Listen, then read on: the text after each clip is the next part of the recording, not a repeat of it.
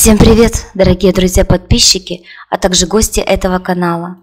Представляем вашему вниманию финальная роль «Трагические смерти актеров на съемочной площадке». Зрители с удовольствием смотрят масштабные фильмы, в которых любимые актеры участвуют в захватывающих экшн-сценах. В погоне за достоверностью трудолюбивые звезды соглашаются самостоятельно выполнять опасные трюки без дублера. Однако в истории кино не раз бывали случаи, когда эффектные съемки оборачивались гибелью артиста, к большому сожалению. Сергей Бодров-младший, картина «Связной». Начало трагической истории фильма берет с Московского международного кинофестиваля. Именно там Бодров-младший представил картину «Сестры». Никита Михалков вручил молодому режиссеру специальный приз – 10 тысяч метров пленки «Кодак». Позже на нее поставщик решил снимать свой следующий фильм – Съемки стартовали в июле 2002 года во Владикавказе. По сюжету герой Ильяс должен был поймать гадюку. Эпизод ставили в Кармадонском ущелье. Однако нужны были кадры, которые никак не получались и привели к задержке съемочной группы. Вечером произошел сход ледника Колка.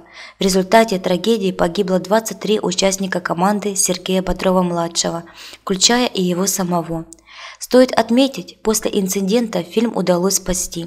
В 2003 году из отснятых материалов удалось смонтировать короткий метр. Недостающие сцены заменили на закадровые текстовые вставки. Инна Бурдученко. Картина «Цветок на камне». Карьера молодой артистки Инны Бордученко оборвалась в самом начале, во время съемок в картине Анатолия Слесаренко – Действия фильма разворачивались в шахтерском городке, который отстраивали комсомольцы. Их размеренный быт нарушает появление секты. В одной из сцен героине Бурдученко предстояло спасти издание «Знамя», несмотря на пожар – Создателям картины потребовалось несколько дублей, чтобы добиться идеальных кадров. Артистке пришлось неоднократно входить в горящий дом. В какой-то момент у нее застрял каблук. В это время конструкция затрещала и обрушилась на Бурдученко. На помощь к артистке пришли поклонники. Доноры сдавали для нее кровь и кожу, однако ей не удалось выжить. 78% ожогов всего тела. Слесаренко осудили за трагический инцидент. Съемки картины завершил Сергей Параджанов. Он не только довел фильм до конца, но и сменил название «Так никто не любил» на «Цветок на камне». Евгений Урбанский. Картина «Директор».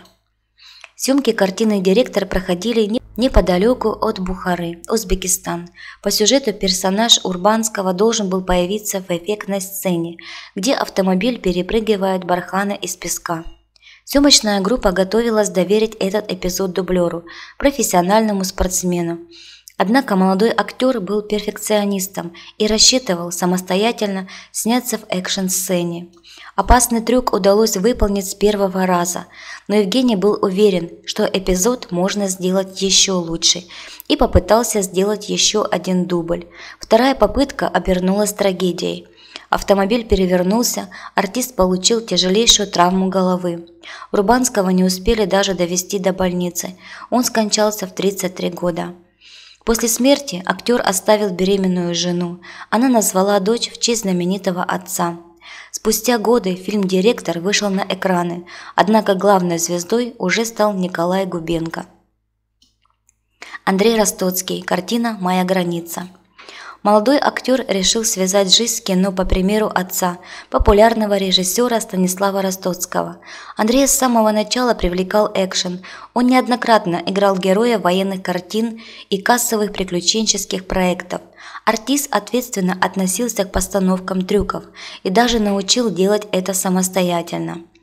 Отказавшись от дублеров, Ростоцкому удалось добиться успехов в экшн-сценах. Так он стал одним из членов жюри на Московском международном фестивале каскадеров. Поэтому на съемках сериала «Моя граница» звезде смело доверили играть в опасных и зрелищных эпизодах.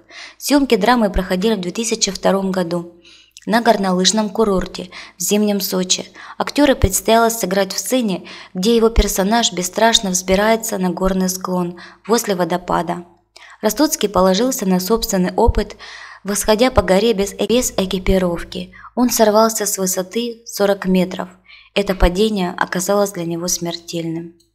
Это были знаменитости, которые погибли во время съемок интересных картин.